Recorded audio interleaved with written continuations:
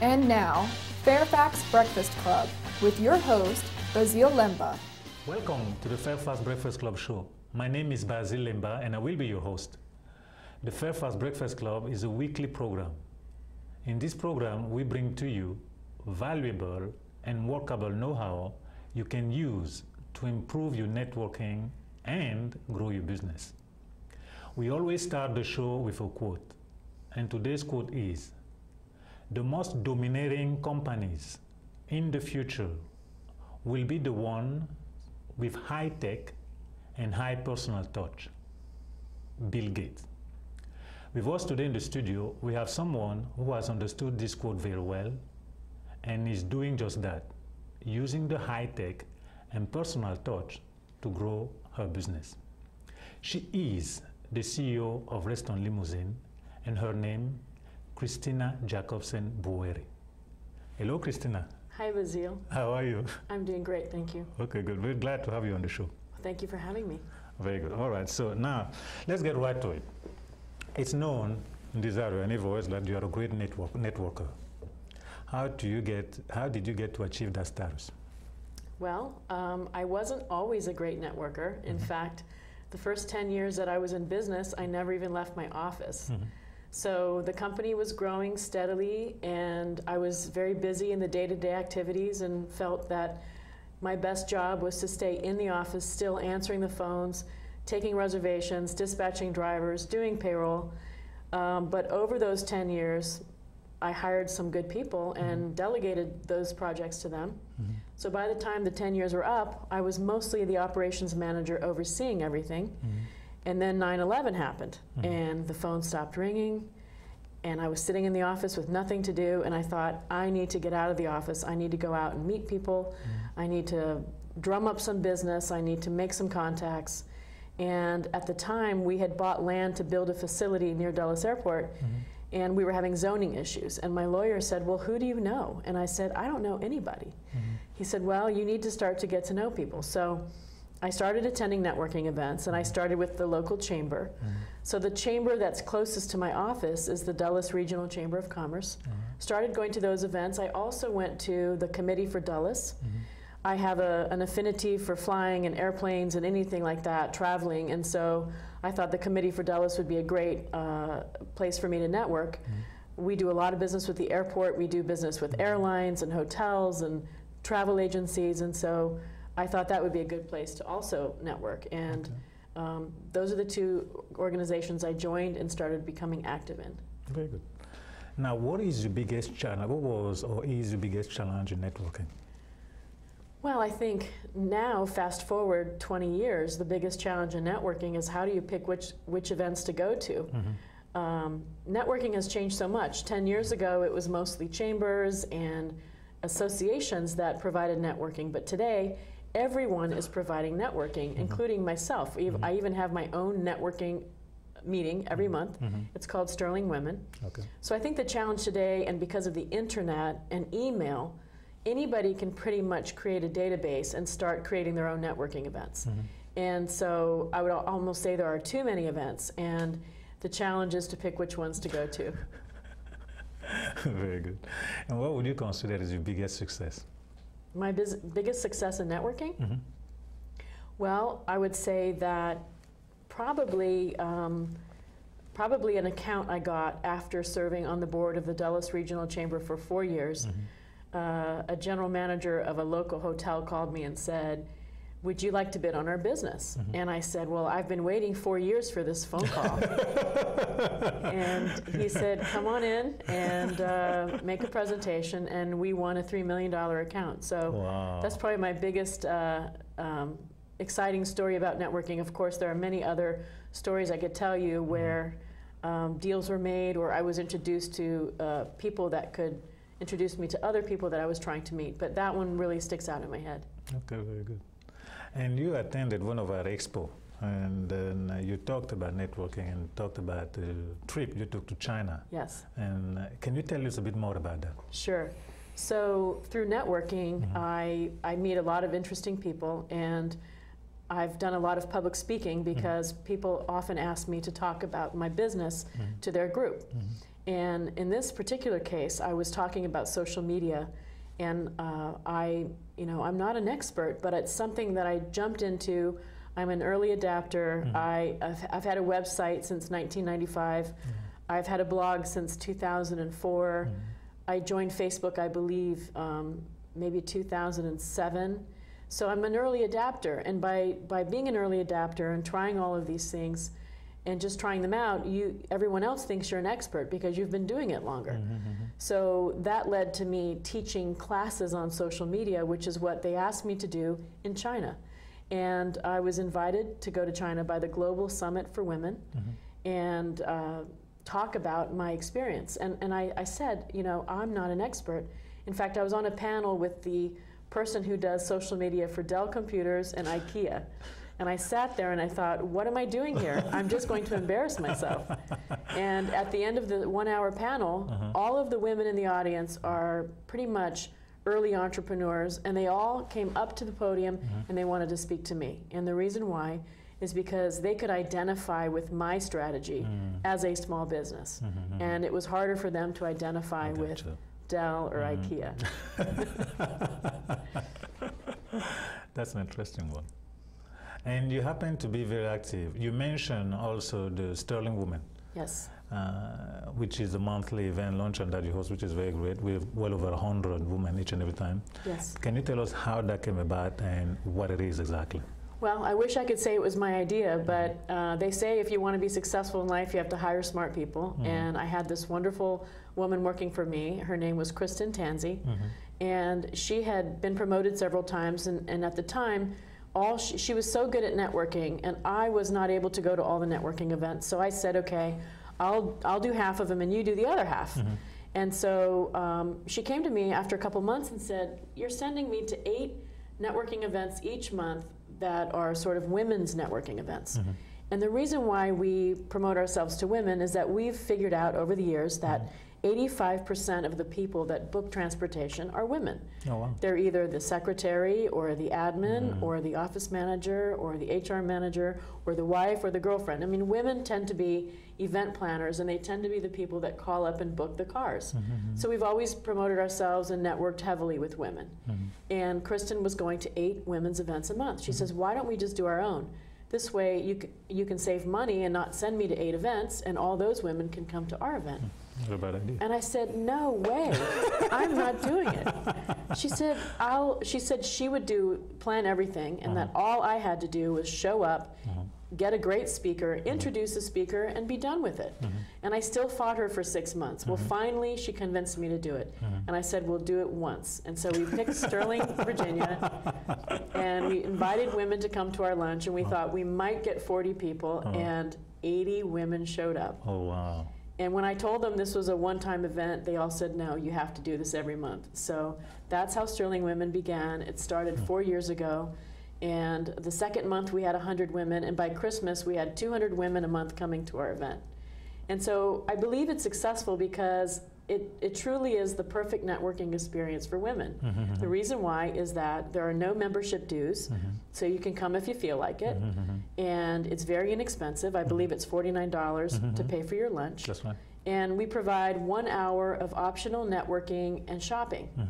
The reason why we do the shopping is myself, as a busy mom, I don't have time to shop. Other busy women, working women, don't have time to shop. And so at this lunch, you can shop for an hour with um, women owned businesses that are there showcasing their wares in the lobby of the conference center. Mhm. So we shop for an hour, then we sit down for a great lunch, Mhm. and then at 12:30, our speaker speaks for 20 minutes. Mhm.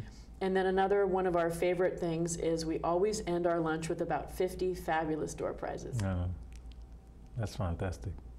So, what other networking do you do? Being that people are listening to you, they know you're working. What else do you do that you can share with them in terms of Well, networking? Um, at this point in my career, and having been in business 22 years, Mhm. other than Sterling Women, most of my networking is done at the board level, Makes sense. which means that I'm either on the board of a chamber or I'm on the board of a different organization. Uh, and currently, I'm on the board of the Loudoun CEO Cabinet. Mhm. I'm on the board of the Loudoun Education Foundation. Mhm. And then I'm on a bank board, Eagle Bank. It's a Mhm. wonderful bank. It's Mhm. growing and it's trying to get more business in Virginia. So they've created this Virginia Advisory Board. Okay.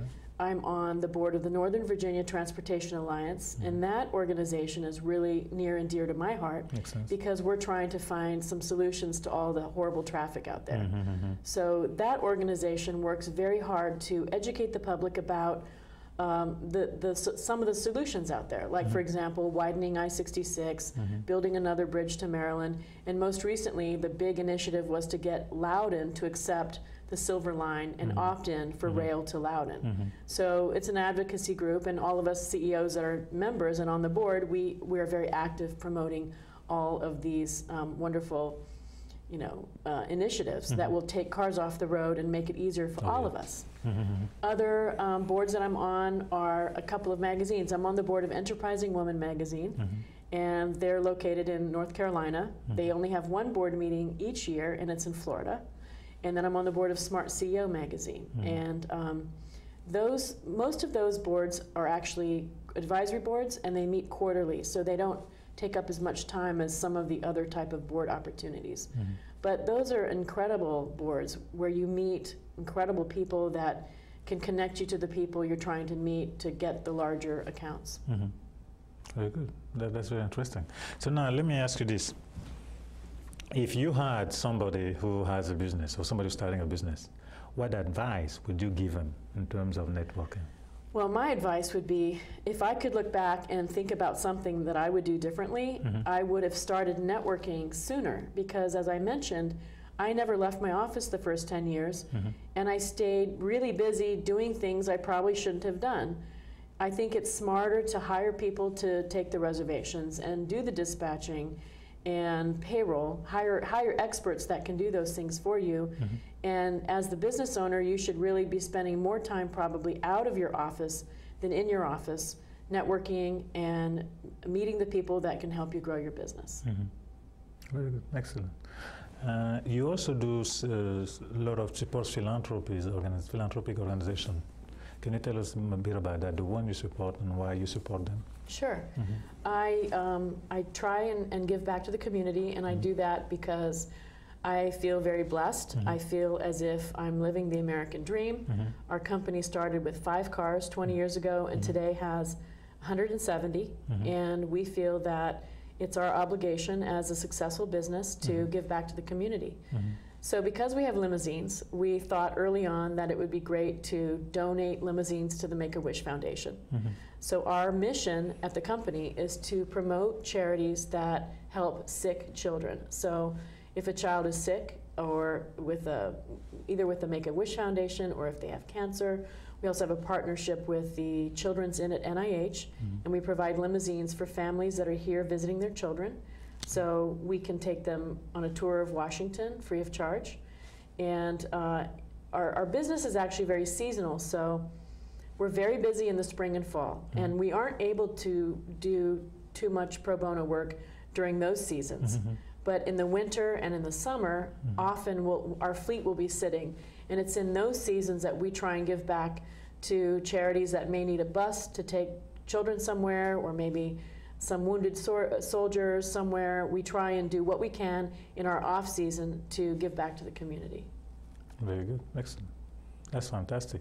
And uh, you also do quite some speaking. Yes. Tell, them, tell us a bit about that. Well, I, I don't search out opportunities to do public speaking. Mhm. but people tend to ask me to speak because um, as a woman-owned business in a male-dominated industry, I Mhm. stick out. Mhm. And I have the largest limousine bu- and bus company in Washington, D.C. Mhm. And in fact, we're the 17th largest in the country. Mhm. So I speak twice a year at the National Limousine Association. Mhm. We have a convention in uh, Las Vegas and one in Atlantic City. Mhm. And I don't know why they're always in towns that have gambling. But, um, we won't go there. I usually, and I don't gamble, by the way. No, I'm just saying that. I'm So. I'll do a seminar on marketing or on social media or maybe how to how to win bus contracts. That's a, a, a very big topic in my Sure. industry. And then recently I spoke for the American Express Open, asked me to speak to Um, they had about 1,400 people attending a conference here in Washington, Mhm. how to learn how to do business with the government.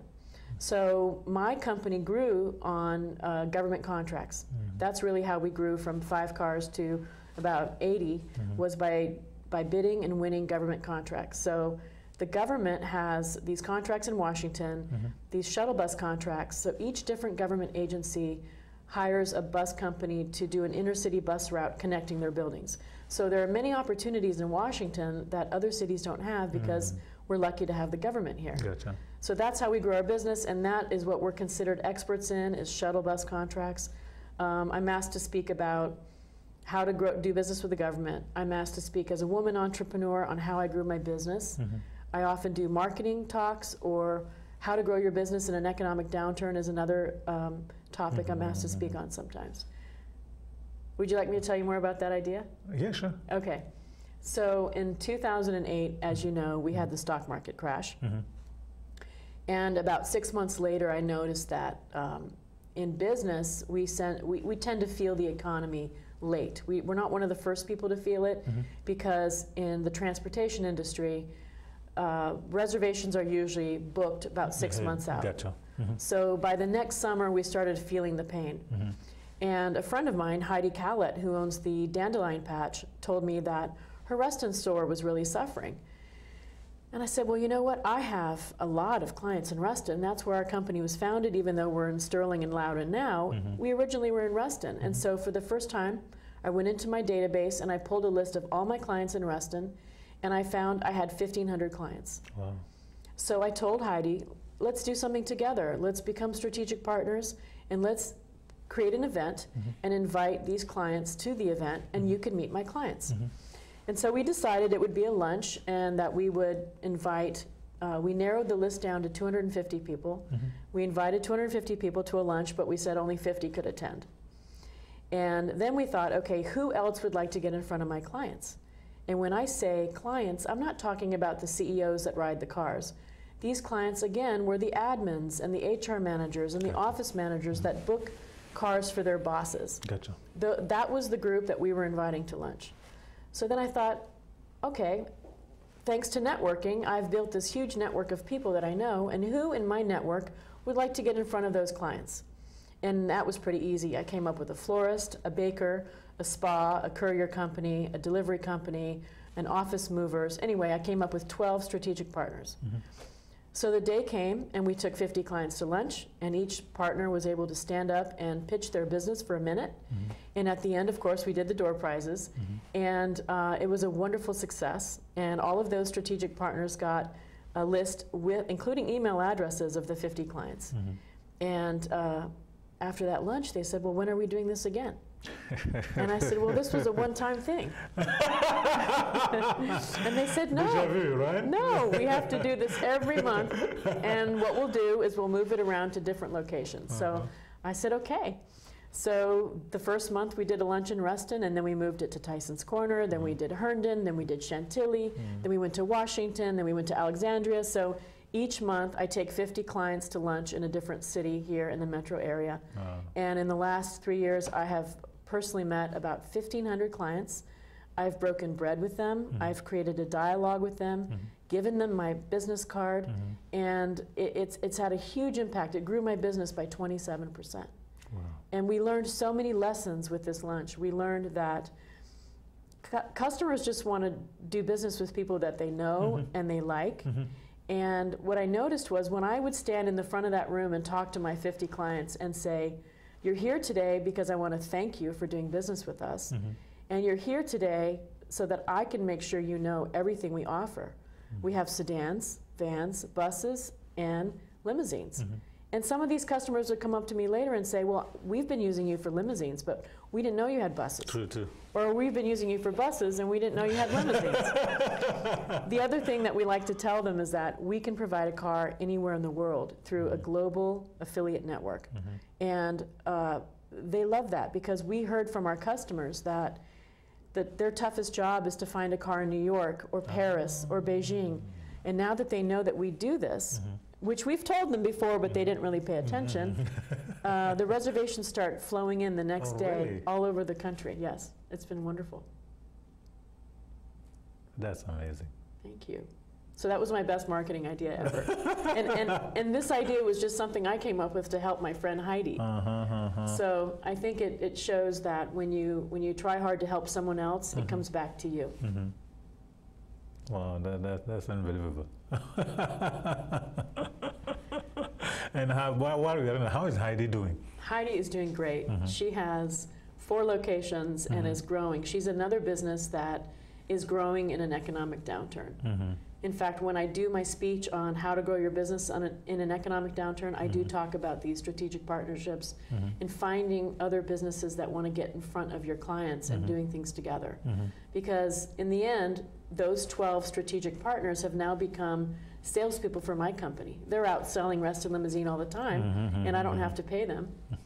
And Well, you give them a good plateau, a good uh, platform. yes, uh, you're right. You're right. They're getting paid in a way, Mm-hmm. but it's it's creating ambassadors for your business Mhm. and growing your brand through other people and word of mouth marketing. Wow. Well, that, that's a heck of an idea. Thank you. Congratulations. Thank you. Now, let me ask you this. If you have um, somebody who is, well, I guess you said, do you I suggest that they start networking prior to earlier in their career? Yes. Okay, now um, I think that that idea could probably work with many other industry. You are in transportation specifically. Yes. That somebody can do it in some other area, I think. Yes. I, I usually recommend that if you're going to start networking, that you pick only three organizations. Mhm. You know, for example, don't do what I do. I belong to seven chambers. Don't do that. Mhm. That's too many. Mhm. Uh, just get involved with three organizations. I would recommend that they pick one chamber Mhm. and make sure it's a chamber that is either close to their office or their home. Mhm. Because if you don't pick a chamber near you, you're never going to have time to go. That's true. And with the Um, transportation issue we have, issues we Absolutely. have. Um, the other group that I would recommend you join is your national association for your industry. Mhm. I think it's really important to stay on top of all the topics, meet people. I get business from limousine companies all over the country. So for me, it's really important to be a member of the National Limousine Association. Mhm. And then the third uh, group that I would recommend would be a charity. So find a charity that you're passionate about. Mhm. So for me, um, I, I was a, on the board of the Juvenile Diabetes Foundation. Mhm. Um, and not really because I have a personal connection, but just because they were one of the first charities that, that invited me to become a strategic partner back in the early 90s. And they would, they would need car service, and instead of paying me, they would invite me to all these great events, and I got to know the board members, and sooner or later, I was offered a board seat. So find a charity that is uh, a, a, a passion of yours, you know, um, their mission is close to home, and donate your time because the people that you're going to meet there are other business owners just like you Mhm. that have similar passions, and Mhm. you, you can learn from talking to them, and by donating your time, it'll come back, Mhm, and you'll, mhm. you'll, you'll be given lots of opportunities. That's interesting. I've never have been put to me that way, but uh, I, I like that idea.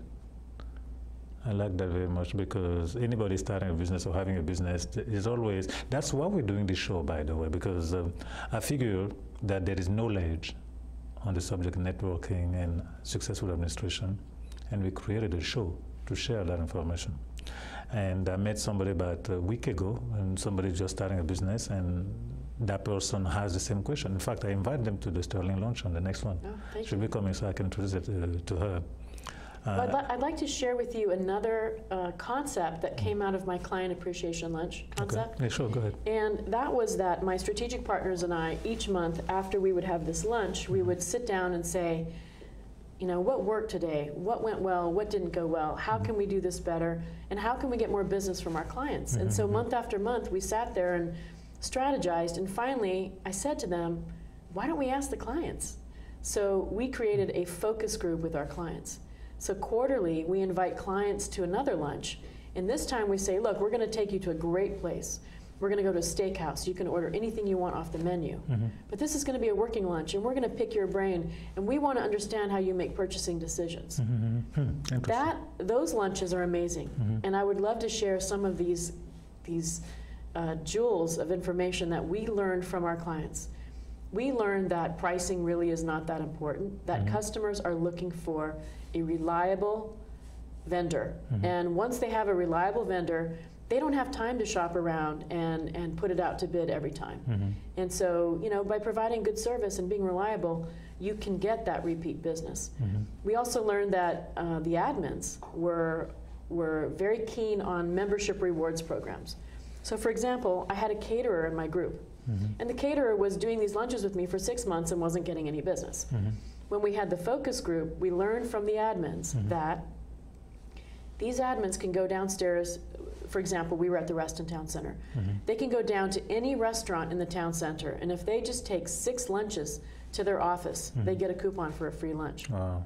So we heard there, there was another catering company that offers gift cards for every $2,000 in orders that are made online. Mhm. So we, we were able to get into the minds of our customers and find out how they make purchasing decisions. Mhm. And that was a very valuable lesson for us. And so that's another thing I would recommend is that people create focus groups with their clients. Mhm. For our guests, we're getting close to the show over here, but do not worry because we have a second part to this show where Kristina will go further and give you some additional information, a different strategic partnership information, as well as you get the opportunity to learn more about our own business, which is Reston Limousine. So stay tuned. Uh, we'll leave you for now, but part two is coming in very few seconds or the next presentation. Thank you.